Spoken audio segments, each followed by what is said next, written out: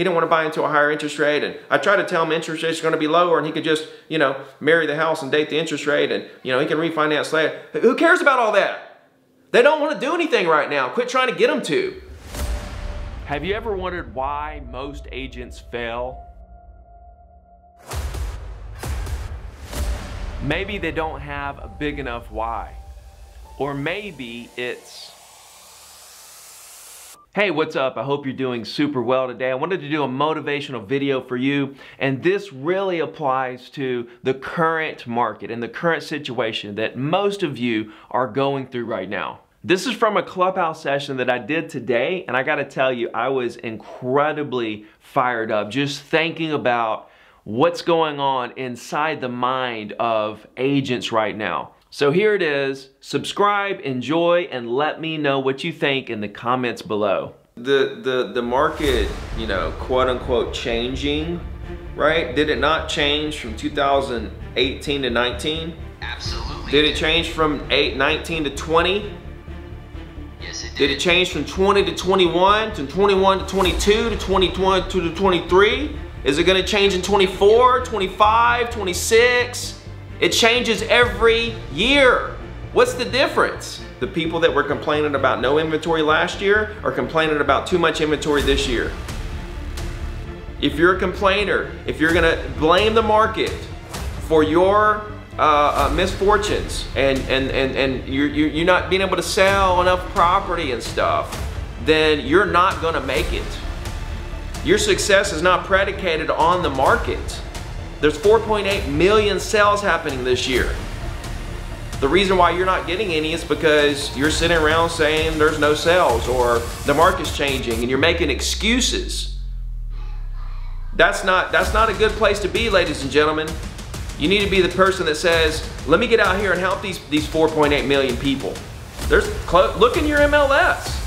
Count the closings that are happening every day and multiply that times two. There's a buyer and a seller on every deal that needs a real estate agent.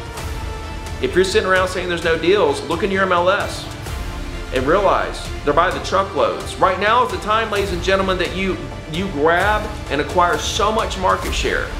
The reason why I sold 100 properties in 2014 and every year since is because I took advantage of the market in 2008 and went all in on just building relationships with as many people in my market as possible and doing a weekly email. Boom, that simple.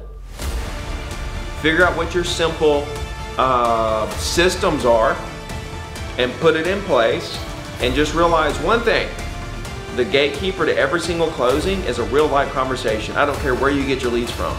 And until you realize that, quit trying to sidestep that. I don't care if you cold call, get Zillow leads, Facebook, uh, Instagram, open houses, networking. I don't care where you get your leads from. You got to call them or nothing's going to happen. So if you're not sitting in a room calling a list of people every day to see what you can do to help, get to know them, put them in your database and weekly emails, social media, whatever you do, whatever your system is to stay in touch with them, if you're not doing it, then nothing's going to happen. If you're sitting around complaining about the market and worried about this, oh, my seller don't want to do anything because you know interest rates are higher and he's locked into a lower and he can't find anywhere to buy anyway and he didn't want to buy into a higher interest rate and I tried to tell him interest rates are going to be lower and he could just you know marry the house and date the interest rate and you know he can refinance later. Who cares about all that? They don't want to do anything right now. Quit trying to get them to. Listen to them. That is not your person today. That is your person tomorrow, next year, two, three, four, five years out. Tell them you want to stay in touch. Tell them you understand the market's not favorable for them right now. Quit trying to figure out how to get them to close. Keep going. You're going to find people that are closing deals. Again, echoing 4.8 million this year. How many of those are you going to close? None. Because you're sitting around saying nobody wants to do anything. Interest rates are higher. Okay. Where are all these 4.8 million deals coming from? Multiplied times two. 10 million people. So you got to really love what you're doing. If you don't love real estate, and helping people buy and sell properties, if you don't get a high off of having a great conversation with someone, regardless if they buy or sell or not, then chances are you're not, you, real estate may not work for you because 90% of agents fail. To be, to just to barely squeeze by in this business, not to be a million dollar producer that makes a mill or two mill or three mill or even a half a mil, just to squeeze by barely paycheck to paycheck, you got to be in the top 10% of the people who get your license. So if you're not in it to win it, if you're not committed, if you don't love doing this, if you don't love people, and you don't love the grind, what side of that statistic do you think you're gonna be on, the 10% or 90%?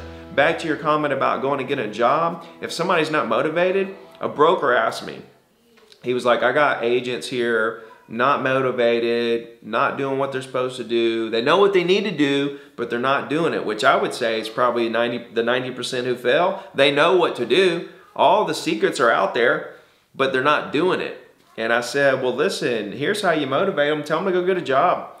Tell them to go get a job roofing houses, working at McDonald's, um, serving tables, cooking at all the stuff I did. I, am telling you all the stuff. I roofed houses, worked on oil rig, served tables, cooked in restaurants, concierge, delivered pizzas, cooked pizzas, landscaping, framed houses, painted.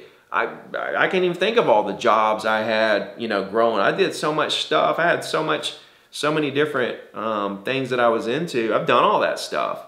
And then, honestly, one of the things that drove me was the fact that I never wanted to go back to one of those occupations. And so sometimes you got to think, would I rather sit here in the air conditioned environment and just click a few buttons and talk to people to get to know them and see how they're doing today and what in the world I can do to help them in terms of buying or selling real estate, again, in this air conditioned, incredible environment? Or do I want to be forced to go clock in somewhere that I hate, put on a goofy clown outfit and flip burgers all day until they tell me I can leave for literally pennies. It's all these options and choices everyone has. You can choose to do whatever you want. If you want to be a, an incredibly successful real estate agent, every single person can. There's not a single, I've seen the goofiest, um, unskilled, untalented, non social people go out and crush it in real estate. I'm talking like 30 listings in their first month. People that I thought would never make it. Every single person has the opportunity to crush it, but it's up to you if you're going to take advantage of the opportunity and realize the things that you have to do, A, and B, go do them and think long term. It's like eating a hamburger. You eat a hamburger, you don't look you don't look different tomorrow. You don't look different next week if you eat a hamburger every day. Next month, you don't look that different. After a year eating hamburgers, you look completely different. Same thing as if you eat a salad. You eat a salad every day, after a couple days, no difference. Week, no difference. One year, big difference. Same thing here. You make calls for a week, not real different. Make calls for a month, not real different. Make calls for a year, big difference. You got a business on your hands, ladies and gentlemen. But nobody wants to look a year out, two years out, three years out. They want to try, they want to, they want to say, oh, after three months I haven't gotten anything. Meanwhile, they've connected and had great conversations with 400 people that are gonna, like 20% of those are gonna do business with them in the next two, three, four, five, ten years. And the more they continue adding to that list of loyal clients that are going to do business with them for the rest of their life, the larger their business is going to be and the more momentum that they're building up. But most people quit before they get to the point where they have that business and they see the light, that if they just keep going. And that's the problem. And if you want to go back and, and work a nine to five, be my guest. That's your choice. It doesn't affect me one way or another. All I can do is go to sleep every night knowing I did all I could do to help you be one of the 10% who makes it in the business. The rest is up to you. I can, I can lead you down to the water, but I, I, I can't dunk your head in the river. That's got to be your decision. I can't make the calls for you. I can't show the properties for you. I can't communicate to your clients that you care about them. You got to do all that.